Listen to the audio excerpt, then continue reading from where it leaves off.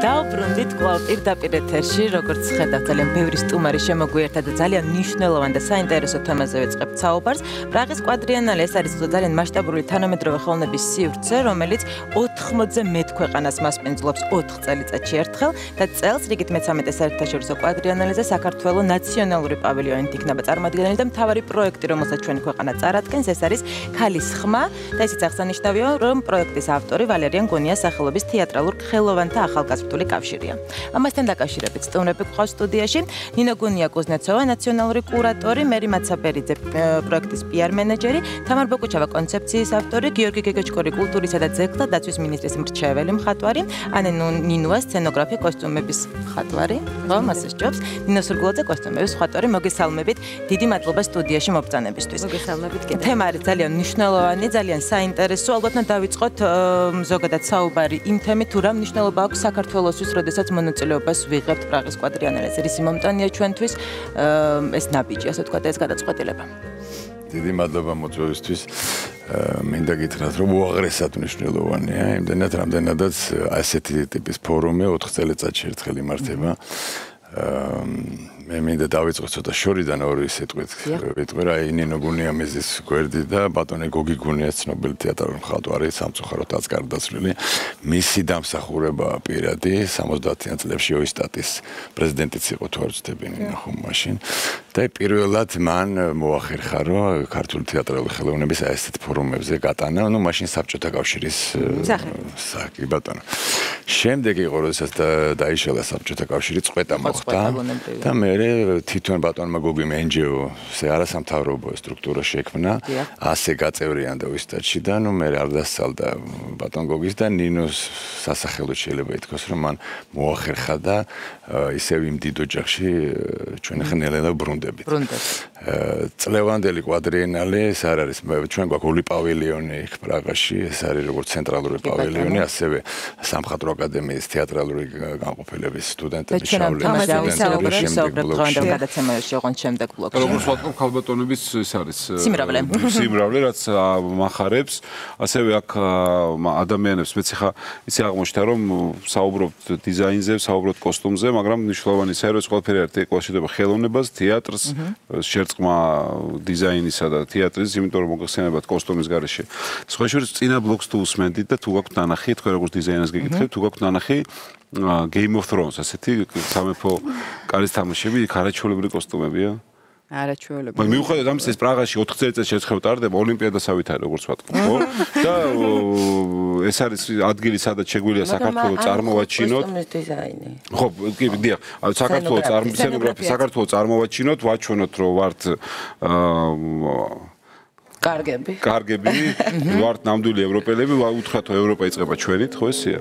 და თავდება. თავდება, თავდება პორტუგალიით და ასე რომ ეს დიდი აი მოდი თამულა შენც კითხავ და მინდა ყველას კითხოთ აა ხალის ხმა კონცეფცია. ხო, ეს კონცეფცია რატო რატო წელს და რა თქვა რა დამატებით თან კონკრეტული თემები აქვს ხომ წრევანდელ პრაღის გარდიან?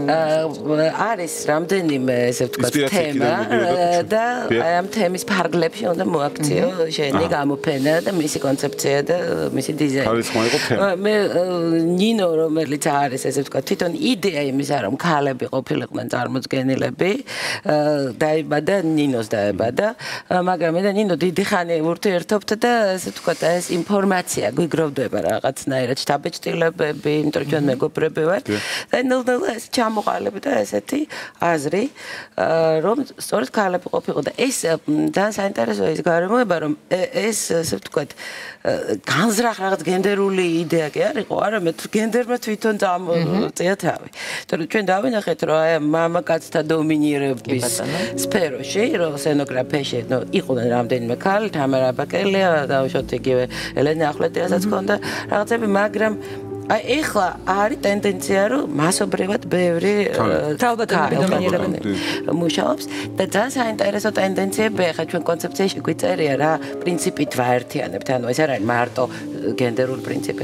ეს არის მაკროსტატიკური კომპოზიციური პრინციპი პლუს პოლიტიკასთან ეს რა კავშირია გეტყვით, რომ ეს არის აი ამ გარდამავალი ეპოქის იდენტობის ძიების კონტექსტში გაკეთებული და ამას ემორჩილება, ამ იდეას ემორჩილება მთლიანად პავილონის კომპოზიციაც და იდეაც და სხვა შეიძლება ძალიან კარგად ჩანს, აი რაც უფრო მეცხედავ, პანორამულია.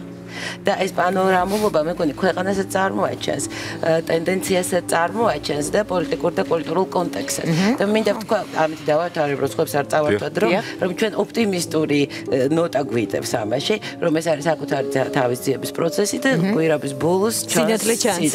პორტუგალია, გვირაბის ბოლოს ჩანს. ანუ მთავარი კონცეფცია სამი ძირითადი თემისგან შედგება: პრაღის კვადრიანალის, ლევანდელი პრაღის კვადრიანალის, ეს არის მუსიკა, პოლიტიკა და ამინდი. საინტერესოა პრო პროექტი ქალისხმა როგორ ეხმაურება აი ამ თემებს? ფიქრობ, რომ ძალიან პირდაპირ ეხმაურება, იმიტომ რომ ფაქტობრივად ამ პროექტზე მუშაობა იწყება წინა კვადრიენალის დამსრულების შემდეგ და ჩვენ 4 წელიწადი ამაზე გუნდურად მუშაობდით, მაგრამ შარშან საბოლოოდ ჩამოვყალიბდით, იმიტომ რომ თემა მართლაც თამრიკოს თქმის არ იყოს, გამომდინარეობდა, ასე ვთქვათ, იმ თეატრალურ პანორამიდან, რომელიც და სეზონების შედეგებიდან, რომელიც ჩვენ გქონდა. ჩვენ ფაქტიურად მივდიოდით იმ გზით, რომ საუკეთესო სპექტაკლებს სხვადასხვა თეატრების ვარჩევდით და რა თქმა უნდა, რო დავინახეთ, რომ ამ სპექტაკლებში წამყვანი თუ არა, ასე ვთქვათ, თანაბარი როლი ქალთა სცენოგრაფიას. მე გულისხმობ სწორედ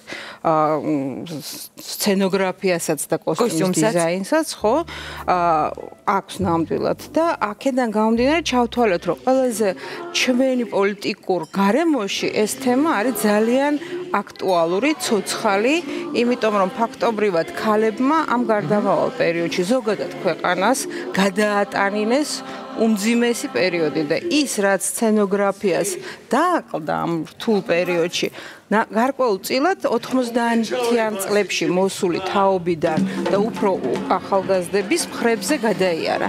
და ნუ აი ეს ახალგაზრდები ვინც არიან წარმოდგენილი არც მარტო ახალგაზრდები. Mhm. ამ გამოფენის მონაწილენი ფაქტიურად აი ამ პერიოდის ناყოფია mhm. შემოქმედებითი მათ შემოქმედება სწორედ ამ პერიოდს ემთხვევა შესაბამისად ჩვენ ჩავთვალეთ რომ ეს ის რაც ჩვენთვის ღვიძლია და ასევე ესადაგება პრაგის კვადრატურის თემას და მინდა ვთქვა რომ აი ამ როგორც უკვე ითქვა რომ ფაქტობრივად გამოფენის კონსტრუქცია არ არის მხოლოდ მხატვრების წარმოჩენა, არის სპექტაკლების წარმოჩენა. ამით წარმოჩენილია ფაქტიურად რეჟისორი, თეატრი, თლიანად სპექტაკლი, ანუ ვიდეო, ამ კლიპების სახით. ანუ ვიდეო ინსტალაციის სახით და ასევე კოსტიუმების გამოფენა იქნება, ხო? კოსტიუმები შედარებით მცირე ნაწილი, იმიტომ 24 ეკრანი გვექნება და მათ შორის გამოკვეთილად რამდენიმე კოსტიუმი, რომელიც იმ ტენდენციას გამოხატავს, რომელიც ზოგადად სცენოგრაფიაში არის. და გამაც შავ-თეთრ წითელია და მინდა ვთქვა, რომ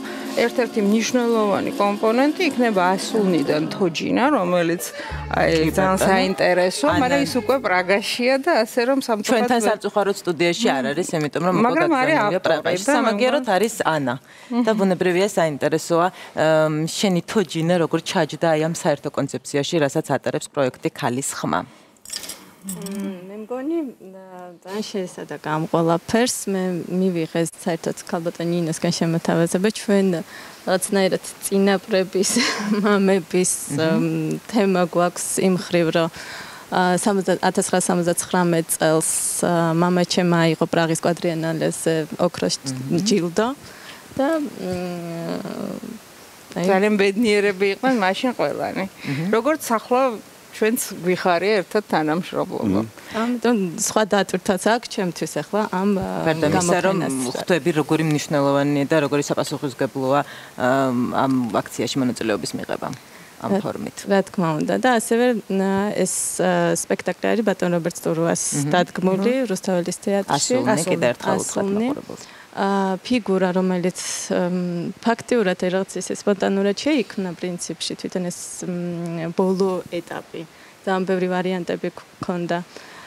და საბოლოო ჯამში, რაც მივიღეთ, ის გავაკეთეთ მე თოჯინა აი ეკრანზე, ჩვენ ვინო. ფაქტიურად ეს მსახიობებიდან აღებული ასლებია იდენტური და ის იქნება საპირწონე ინსტალაციური ნაწილი ჩვენი ასე ვთქვათ მცირე ნაწილი. გლამური და გროტესკი. ჩანაში ეს შეთანხმებული კი. ყოველთვის მაინტერესებდა როგორ მუშაობს ხოდაშორის მხატვარი როდესაც კლასიკას ეხება ტექსტი ეს კლასიკასთან მიდიხარ ავტორი. ავტორი როდესაც კლასიკა ეს ჯორი ავტორი შეხვედრა ხდება როგორც დიზაინერის როგორც მხატვრის და როგორც დრამატურგის ხო და შემდეგ მესამე ხა ერთვება რეჟისორი. და ინოსაც შეგვიძლია ვკითხოთ რა საინტერესო აი ეს მაინტერესებს გასაგებია რომ წაიკითხავთ ეპოქას სწავლობთ განათლება გაქვთ როგორ იცვამდე რას იცვამდე როგორ დადიოდნენ როგორ თვას როგორ ივარცხდნენ რას კითხულობდნენ შუქი არ იყო თუ არ იყო გაჭვარყულები დადიოდნენ თვეში ერთხელ ბანაობდნენ რომ ეს ამბობდნენ რომ ანუ ფრეიშვი ადრე ანუ ფროიშვიათა წეიწად შეერთხელ. ხო და აი როგორ მუშაობთ ეს მაინტერესებს როგორ მიდიხართ? აი თქვა ეგეთ კლასიკას და როგორ ეხლა გქონდათ და ზოგადად აი რაც თქვით პრინციპში ყველაფერი ზუსტად ესეთი თანმიმდევრები სოდნი ეს პროფესია. ესე მარტივია და გამჯერა თეორიულად კარგად სპეციფიკა. თეორიულად იცი ძალიან დიდი მნიშვნელობა კიდე ამას რეჟისორი როგორ აღიქვას ყველაფერს დრამატურგის შემოქმედებას, აი რეჟისორი როგორ მოგაწოდებს რა უნდა რომ დაანახოს მაყურებელს, რა უნდა რომ აჩვენოს და შეხარ მე უკვე ამის ყველაფრის ესე ვიზუალურად ფორმის შემქმნელი და ძალიან საინტერესო პროცესია და ჩვენ სტუდიაში შეგვიძლია კონკრეტულად ვისაუბროთ ამ კოსტიუმებზე და შეგიძლია რომ მიხვიდეთ? მე მგონი გამიჭirdება.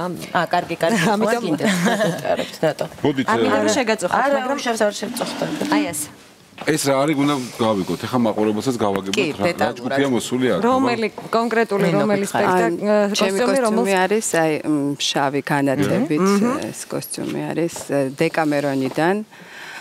გისმონდა არის ესეთი პერსონაჟი, რომელიც ძალიან ადრე გაათხოვებენ მისი სურვილის მიუხედავად და შემდეგ ეს მისი მეუღლე გარდაიცვლება და ჩვენ ესეთი კაბა შევქმენით, რომ მთელი მისი სურვილები, ოცნება, ნატრა, ბავშვობა, ყველაფერი თითქოს აი ამ კაბაში მოვაქციეთ, ანუ რაც ფანტაზია მისი.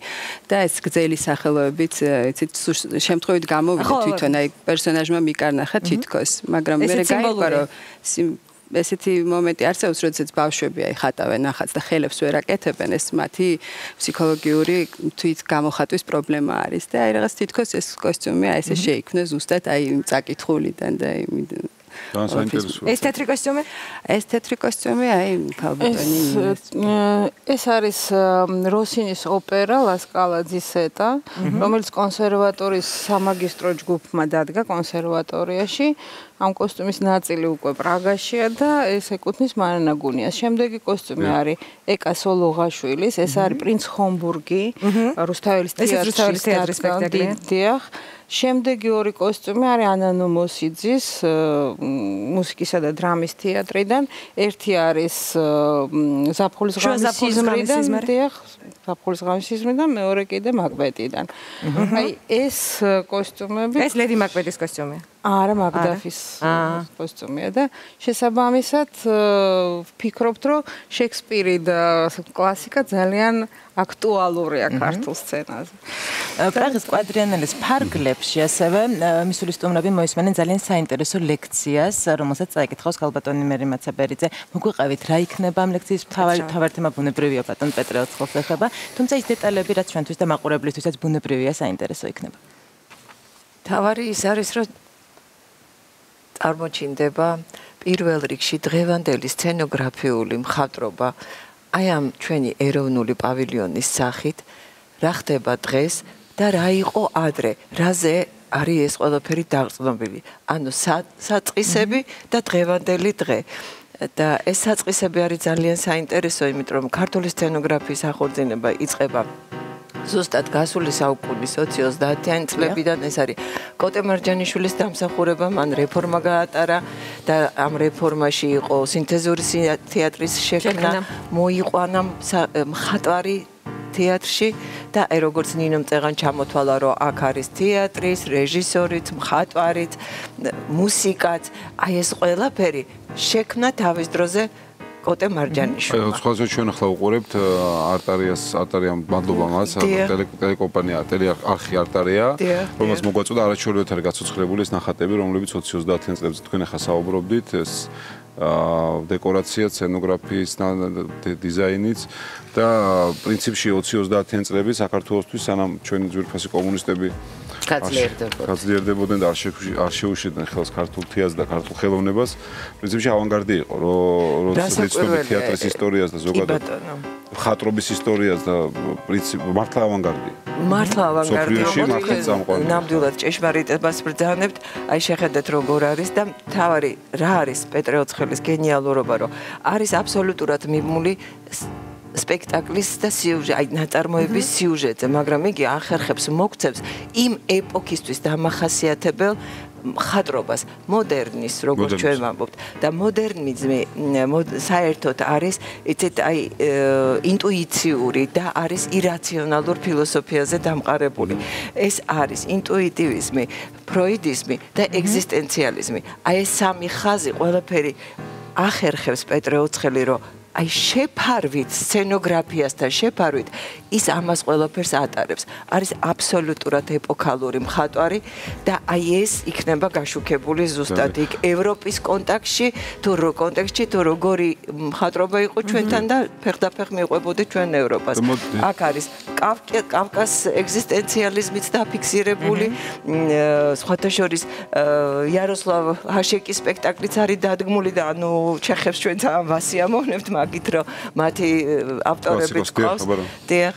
და ესე ძალიან საინტერესო თემა, იმიტომ რომ მე მართლაც ეს აღარა გვაქვს, რომ იცით რა მიდაკითხა. ოცხალზე მიდოდა საუბარი, მას საოცარი ფიგურა. ხო, საოცარი განსხვავებული დამოფლებ ალბომი მქონდა, მაქვს და ვათვალიერებ მართლაც საოცრებაა და რა მიდაკითხოთ ზოგადად, აი გასაგებია თქვა ჩვენ პრაღაში მოვა ადამიანი, ნახავს ქართულ პავილიონს. ქართულ პავილიონს, აი ამ პავილიონზე ორიოდე სიტყვა მითხარით და როგორ მივხვდებით ჩვენ როგორ შევალთ აი თითოეული კოსტუმის რაღაც ისტორიას როგორ გავიგებთ? როგორ მივხვდებით სად ვართ, რას ვაკეთებ და რანი ვართ და ნუ მე როგორ აღმოჩნდებით პორტუგალიაში აი მის კომენტა, დიახ? აა პირველ რიგში მნიშვნელოვანი არის არა მარტო პრაგის მაყურებლისთვის, არამედ თვითონ საქართველოსთვის.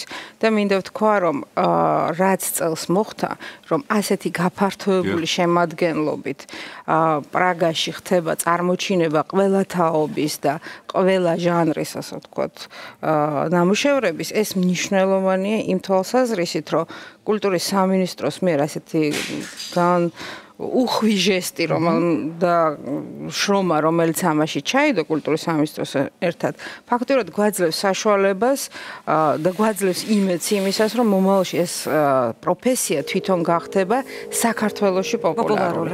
და ახალგაზრდებს რომელ თვალწინ ასე ვთქვათ ამდენად წარმოჩინდება ჩვენი სცენოგრაფია უკვე მათთვის მიმზიდველი მიმზიდველი გახდება. მე ვფიქრობ რომ შიდა მოხმარებისთვის ეს ძალიან მნიშვნელოვანია. რაც ეხება საერთაშორისო კონტაქტს ჩეხი პრაღაში ის მე ვფიქრობ დაინახავს ფანტასტიკურად პანორამას ქართული თეატრალური რეალობის დაწყებული რუსთაველის თეატრით და დამთავრებული რეგიონალური თეატრებით ფოთის თეატრით თუ ლადო მესხიშვილის ქუთაისის თეატრით ნახავს თაობას რამდენიმე სცენოგრაფების ნახავს ვიდეო არტს რომელიც ყველაფერს ამას კრავს და ეს არის აბსოლუტურად სხვა ჟანრობრივი ნაწარმოები რომლის ავტორია თათიას ხირტლაძე ვენაში მომუშავე ჩვენი ვიდეო არტისტი და ფაქტობრივად ის ნახავს ახალ თანამედროვე ენით გადმოცემულ თეატრალურ სანახაობას რომლის კომპონენტები შეკრულია ვიდეო ინსტალაციით და კოსტიუმებით და თოჯინით. შეიძლება ერთს იყოს და ამაწერდა რა თავარია? ის ნახავს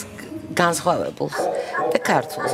და მე ვფიქრობ, ყველაზე მეტად მათ ეს აინტერესებთ, იმიტომ რომ იგივე ოსტატზე, როდესაც ჩვენ საუბრობთ ხოლმე, როდესაც ისინი აპირებენ ჩამოსვლას რა ვაჩვენოთ და ვამბობთ, რომ დავშეთ, როდესაც ჰოლანდიაში აბსოლუტურად სხვა თეატრს ვუყურებთ ჩვენ და ვამბობთ, რომ ჩვენ მსგავსი არ აქვს, სწორედ ეს არის კარგი მათთვის, სწორედ ეს უნდათ. ეს არის საინტერესო. ის უნდათ, რაც ჩვენ გვაქვს და არა ის, რაც მათ აქვთ და იმის ცუდი ასლის ნახვა არსებობს. ამდენად ისინი ნახავენ საქართველოს და მე ვფიქრობ, ეს არის მთავარი. მე რა არის ეს ყველაზე მნიშვნელოვანი რომ ეხა მომავალ თაობას გაუჩნდება мотиваცია ეხა მთლიანად ორივე პროექტი არის კულტურის სამინისტროს მიერ დაფინანსებული მე ხა ვისარგებლეს შემთხვევით. და ორი სიტყვით ვიტყვი რომ ამასწინაც სადღაც შეკრებაზე გამაგონეს რომ არაერთხელ რომ თურმე კულტურის სამინისტრო მარტო იუბილეებს აფინანსებს და ეს ნამდვილად ასე არის მე შეგნებულა წამოვე ხა ნუსხა. 5 თვის განმავლობაში, იანვრიდან მაისის ჩათვლით 1.700.000 ერსახვით ხელოვნებაზე მარტო პროექტებს, სხვადასხვა პროექტებზე დახარჯოთ. მე არ ამბობ აი პატარ-პატარა დაფინანსებ. მე ვიზახე მსხვილს და ეს ძალიან მნიშვნელოვანია, იმიტომ რომ შესაძაც პრაქტიკულად ის აი როგორც ვენეციის ბიენალე, ასევე კვადრიანალე ჩაჯდება უკვე საპროგრამო ბიუჯეტში ჩაჯდება, რომ გეცოდინება 4 წლის შემდეგ აუცილებლად დაფინანსდება აი ამ ფარგლებში და ამათ ეკნებათ мотивация რომ ამ იმუშაონ ამ მიმართულებით. ჩვენთან ეს მუსიკა ნიშნავს რომ უნდა ხა ხა უნდა ავდგე და ვიცი მე ამ დაგიტო. და იცით რა? სამინისტროს და საერთოდ რა თქმა უნდა. დიახ დიახ ძალიან დიდი მადლობა მინდა გადაუხადო არ მიწყენენ ჩემი კოლეგები რომ დიდი მადლობა გადაუხადო კულტურის სამინისტროს და ყველა იმ ადამიანს ვინც დაგვეხმარა და მოგცა იმის საშუალება რომ ჩვენ წავიდეთ და საქართველოს წარმოვადგინოთ იქ და ასევე ხმამაღლა მინდა დიდი მადლობა გადაუხადო პრაღაში ქართულ საელჩოს muchos just. ზალ გოგსაძეს მის თანაშემწეს ირინა ჩინჩალაძეს რომლებიც ძალიან აქტიურად არიან ჩაბმულები ამ საქმეში და დიდი მოლოდინით გველოდები. კი ბატონო, მოიკითხეთ ელჩი, მოიკითხეთ პრაღა, წარმატებები. როგორ იყო სამი ერთიანობის პრინციპი, როგორ არის ამინდი იყო მუსიკა, პოლიტიკა, მუსიკა, პოლიტიკა, ამინდი გასაგებია. მე მგონი რომ ესე იგი და ქართულ თეატრ. აქედან იწყება ევროპა და მთავრდება პორტუგალიაში. ამ საქმეად მიდიხართ. ფაქტი რომ წელოდელი წელი პრეზიდენტმა ქალის წლად გამოაცხადა და შესაბამისად თემაც ამართლებს 12 ქალის სცენოგრაფი. სიმბოლურია. მოკლედ მანამ პრეზიდენტი გამოაცხადებდა მანამ დიქრე. და ორივე კურატორი ქალბატონია და მე და გითხრათ ძალიან რთული იყო არა დაფინანსება ერთი მხარეა და მე ამის თავისი მობმა და როგორც ქალბატონმა ნინომ ასევე ქალბატონმა ქეთი შაუგულიძემ აი კარგი მენეჯერული თვისებები გამოავლინეს და ბატონგერის თხოვოთ რომ ჩვენთან ერთად როდესაც სტუდენტები შემოგვიერთებიან სტუმრებს. დავამშვიდობებით ბუნებრივია დაგველოდეთ რეკლამის შემდეგ დაუბრუნდებით